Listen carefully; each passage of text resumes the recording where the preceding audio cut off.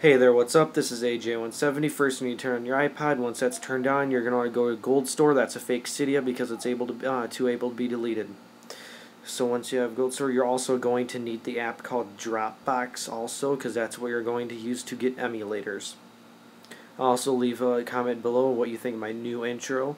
That was made by a fan or a friend, whatever. So anyways, once you have all that uh, stuff on there, you're going to open up your local gold store. I'm pretty sure this isn't even the updated version because my app isn't on there yet, which I still need to make a tutorial on, just too lazy. You want to go to Floppy Cloud, you're going to find it, you're going to click on it. The reason why I haven't um, been making a lot of videos is because of these screenshots. It I use CuteCut Pro and it crashes a lot when I edit this uh, photos or add stuff in.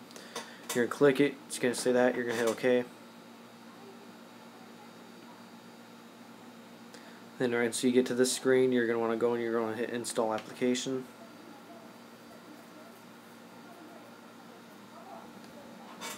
And then you hit install again.